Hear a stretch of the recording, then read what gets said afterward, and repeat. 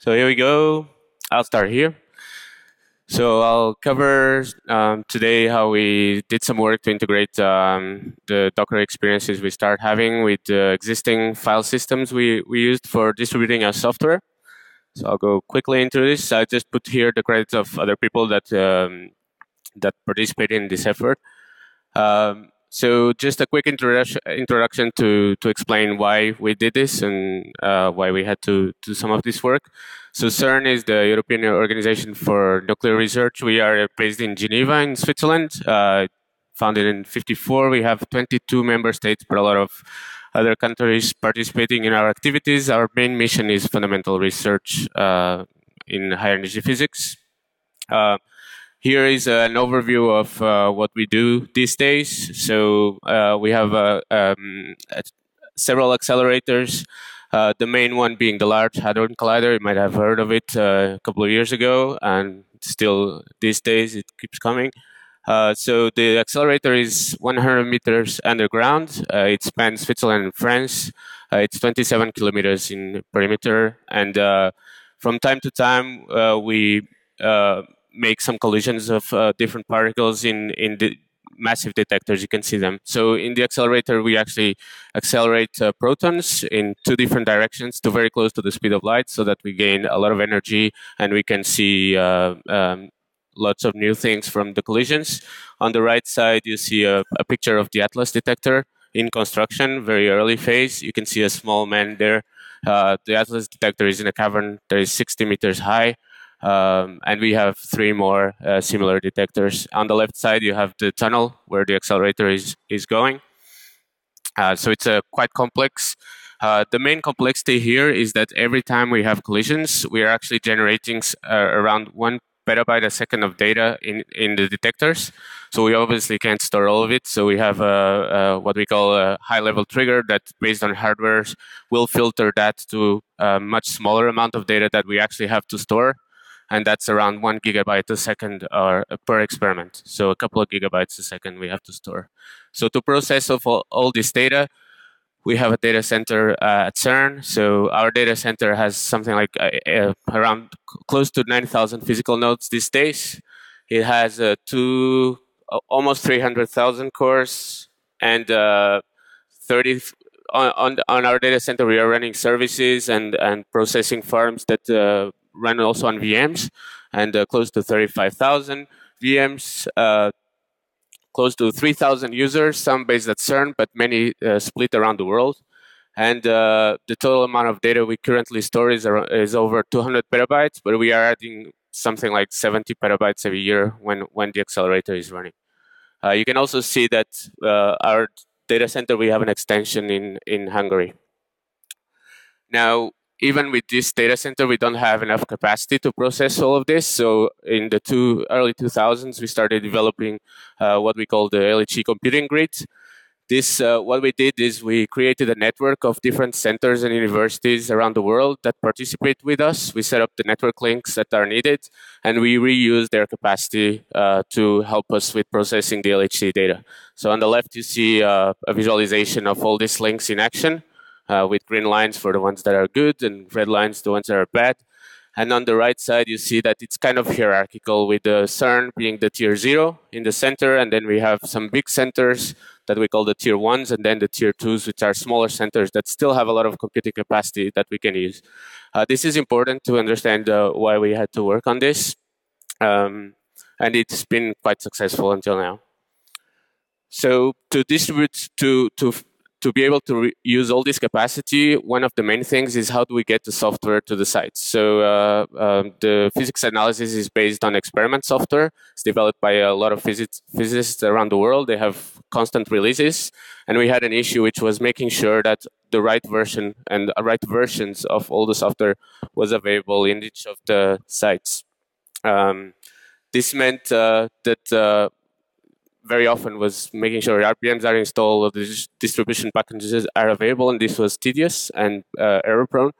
So we, a few years ago, we created this CERN VM file system, which uh, follows the hierarchical structure we have on the infrastructure itself and makes us publish the software on the tier zero on the top at CERN and make sure we spread the software all over the sites using a, a, a read-only file system. So this is based on a Fuse module.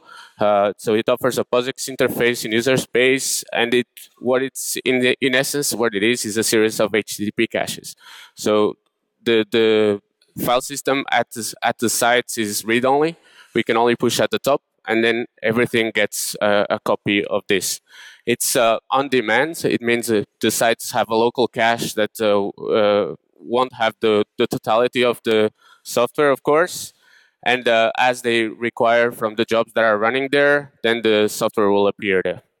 It also has uh, a lot of data integrity checks and similar things. There's a link here if you're more interested in this. Now, more recently, recently we started doing a lot of things with containers. Um, I think the, the main uh, use case for the physics area uh, is that physicists are very excited about being able to package all their analysis in one unit that they can refer or give a reference to their colleagues and say, run this, you'll get this results. And it's kind of guaranteed that this will be the case. Everything is packaged inside in one single unit, and this is reusable. And this is very important if you're doing uh, this kind of research. The other use case we have is large clusters where people can do interactive analysis. So they go and they use Jupyter notebooks uh, style uh, things, which means instead of having to have a complex system installed on their laptop or log into some uh, central terminal, we offer them a nice web interface where they can do their analysis. This is also very powerful. It allows us to grow the clusters uh, as the demand comes and goes. The first use cases we treated were not this. The first one was actually continuous integration, which I believe it's the easiest one uh, to, to start with. Um, so we do a lot of things. Uh, the internal systems we have, we, we use containers for the con continuous integration and validation of our software. And then slowly we are migrating our own infrastructure services also to containers. So one thing we have we had here is that we had to somehow accommodate the existing system we had, which was using this CERN VMFS to distribute the software with the new container world. So there are many options we could take there, but the main thing we we have to do is to make sure that the software is available to the containers. So the if as the software is already at every site using uh, this CVMFS file system, then we should build on it. Uh, Docker, uh, we heard a lot of talks uh, describing how pluggable and how easy it is to, to, to write uh, plugins and drivers. So this is something we exploit quite a bit. So what the first step we, we've done is that for images that are not too badly defined, we can rely on the image being put at the site when the with Docker pull normally, and then the majority of the software will come from CERN VMFS using the same kind of uh, hierarchical distribution that we already had. So this was very easy to implement. There's a link here to the code. Uh, the way it works is uh, the CVMFS file system will the plugin will run in a container that manages uh, uh, the shared mounts of, the, of this file system on the host. And on every container's uh, that's that is started, it will do a do a bind mount depending on the repositories it will request. So this is very easy. The only difference from the normal command is that you specify that you want to use the CVMFS volume driver either while creating a volume or instantiating your container. Now the harder part was to distribute the images. We started seeing some cases where people were having uh, images that were, because it's so easy and to to share. You, people have a tendency to pack a lot of things inside the images. It's definitely not a best practice, but but it's something that happens in in our community. Uh, the reason for this is that when you do your analysis, you need the software, but you also need a lot of knowledge about the conditions of the detector while the run was uh, happening. So you have the data you want to analyze, but you want a lot of metadata that will help you with your analysis. So they started packing all of this in, in the containers themselves. This meant that we thought were large images, one gigabyte, suddenly became 18 gigabytes, and we have some completely crazy cases. Uh, we try to talk to them and, and make it better, but uh, we also try to find a solution for this. So this is, just imagine if you have a cluster of a couple of hundred nodes, and suddenly someone launches an analysis that goes to all the nodes at the same time and they all pull the same image that is not available. Uh, we killed the registry, our internal registry a couple of times. Now it's also behaving better. but apart from scale testing, this is not ideal. Uh, so we wrote this uh, graph driver. So Jakob and uh, Nicola that I mentioned uh, earlier, they wrote this graph driver. So it builds on AUFS and Overlay 2. The main reason is that uh, these are file-based, so it matches the, the, the file system we have available. And the way it works is on the left side, you see a regular Docker image with many layers. And uh, these are actual data layers. And then on the right side, you see how this uh, CVMFS image behaves. So it's called we call it a thin image. Instead of actually having the, the the data for each layer, all we keep is a JSON file that describes the repository in CVMFS where the data will be available and the ID of the layer. So that means that the actual image that you'll push to any registry, you can do a Docker push once you converted this image, uh, is a small JSON file. That's all you, you publish.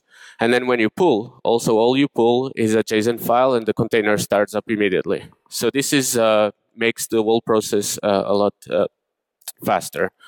Uh, then once the image is available on the node, uh, the, every time a file on one of the layers will be requested, then the driver knows how to mount the actual directory of that layer and it will pull on a file basis instead of pulling each of the layers. So if the image is badly defined with massive layers, we still have a massive gain because we will only access the files that we, we absolutely require.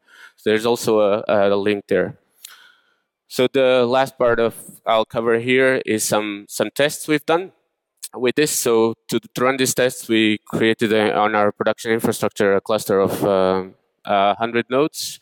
Um, so these are VMs running on our production OpenStack cloud. We have a tool that makes it very easy to create uh, clusters, container clusters on the cloud. The only thing we say is that we need the CVMFS storage driver. And then to benchmark the, the whole uh, exercise, we used an internal benchmark suite we have that hammers uh, system using common workloads from the experiments. And we did a Docker service create with this global mode, which means there will be a replica of this container on every single node in the cluster. So it mimics very well this use case where you have a large cluster, completely fresh, and suddenly you try to pull a very large image from all the nodes at the same time. Um, we tried two sizes, so one is the large and one is close to the very large with 1 and 10 gigs. And uh, here are the results of a fresh cluster without CVMFS. So you can see that with a one gig, uh, gigabyte image, so the way it works is you have a timeline, and then every time uh, an analysis finishes, it just sends a messages, message to our messaging system, and you see the result popping. So you can see that for the first result, and the, the, analysis will execute very quickly in this case. So you can count that the, the peak there is when the container is started. Uh, so we can see that with one gigabyte for the first one to show up, because there's a lot of load on the registry and data being transferred, takes around five minutes. If we go to the 10 gigabyte, we can go to 15 minutes very easily. Now then, we wanted to exercise with the CVMFS, and in this case, sorry for splitting the, the diagrams, but I couldn't put them top to bottom because the plots are too small. So on the left, you have the one gigabyte, and you can see that they start in around five seconds. And then in the 10 gigabytes, which would expect maybe to increase, it's still five seconds. The reason for this is that the amount of data that is actually used by the container, the amount of files, is still very small. Uh, and uh, so the container startup time is, is stays constant pretty much. So even if the, the image is growing a lot, in most cases the data is, is not used and we keep a constant startup time. So this is this is very positive results, uh, and we we are starting to offer this uh, to to our users uh, now. So as a summary, uh, we integrated an existing file system that we use in production for many users, many years, uh, with by just developing new Docker plugins. Uh, we benefit from a massive caching infrastructure that we use for distributing the software. the gains come from from this uh, caching that we have, but also from the fact that we start relying on files instead of layers when when we access the uh, the, the data in the images. And the gains come in startup time, as we showed here, but also on network usage. The amount of data being downloaded for each node and per site is, is much smaller. So we'll continue doing these tests. And uh, the next steps will be to attempt to do the same using multiple clouds. So we've done these tests internally at CERN, but the, there will be even bigger gains if we start considering running this on uh, on uh, hundreds of sites. And the other thing we want to test is further tests on the warm versus cold cache. So if the data is also already available on the nodes, the very small amount of data that containers um, need, this will be even faster. And compare this to when the image, the full image, is already available on the node. And that's it. So I'm I'm happy to answer your questions. Okay. Questions? Here we go. Yep. So, uh, uh, what happened uh, containers uh, if a server uh, crashes or uh, just hanging? Uh, you mean the our our file system servers? Oh, yeah. Yeah, yeah. So it's a hierarchical uh, structure. So each site will have one or several copies of these uh, replicas. So these are basically HTTP servers serving files. So you can easy, very easily load balance it, this. And also the driver will fall back to the regular image in case there's a problem. So if the layer is not available in the normal image, we can have, it still understands the normal uh, registry and will go to it. Uh, so uh, if uh, Uh, all the servers uh, uh, goes down, uh, so container uh, get some error code from, from read system call, right?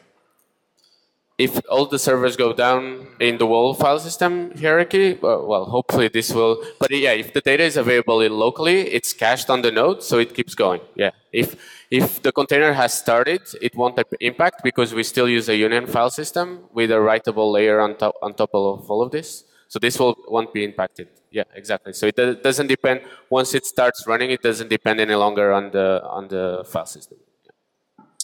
Okay, maybe maybe just as a pretext as well it, you, you talk about like one gigabyte images and 10 gigabyte images. And uh, at the conference, we, we saw like guys trying to squeeze or to put down, and, and Nathaniel will, will talk about Alpine Linux uh, later. So we try to make it as small as possible. Yeah. And you, you talk about 10 gigabyte images as if this would be the normal thing, right? But actually, it's it's pretty edgy. I, if you talk to internal Docker engineers and ask them, yeah, yeah, we, we pull down a 10 gigabyte image, they will like, they will go like this and say, "Oh, yeah. you're crazy." So, so in our case, it's not something we we recommend people to do. It's just something that people do, and yeah, uh, sure, it's yeah. This was kind of a way to go around it. Um, if they sit with us, we try to convince them to have smaller image and rely on the on the volume driver to access the software in CVMFS. Yeah but there's things that they don't convince their uh, groups to put in the main file system, and then they pack them in the images. Yeah, it's, it's not it's not plainly wrong, right? It's just right. the use case of your users are different. They want to contain everything in one container, and this is why the image is so big, right? Yep. And I mean, but it's it's amazing that within Docker, it's it's hard to convince people that like 10 gigabyte images are a good thing. Or uh, even we have one customer who's like 90 gigabyte images, right. and then you, you, you tell it to engineers and say 90 gigabytes, you're crazy. But yeah, it's not. Yep. It's not. It's, it's a use case. I think the, the outcome of this effort was also that uh, this fine file granular, granularity really serves a purpose for us, and it may be something interesting for other people too. Yeah. Other questions? details. Ah, sorry. Uh, well, I'm yeah. sorry. It was too fast. Uh, so it's ricardo.rocha. I'll, I'll give you after. I think it's on the on the agenda as well. Cool. Yeah. Sweet.